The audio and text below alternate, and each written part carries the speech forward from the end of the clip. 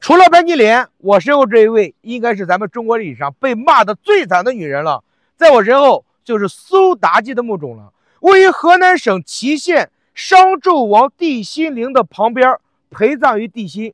重点在这里，前边有个石碑，二零一四年所立，落款是谁呢？河南淇县殷氏宗亲会。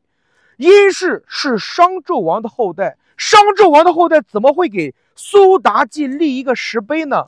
重点就在这里，真相可能只有一个，就是连人家殷氏宗亲会商纣王的后代都不承认是苏妲己霍霍了他们祖先的商朝。所以说，一个貌美的女人独自承受了三千年的谩骂，我们做了两千多年的。长舌妇，一个王朝的兴衰，一个朝代的更替，怎么会由一个女人能够左右呢？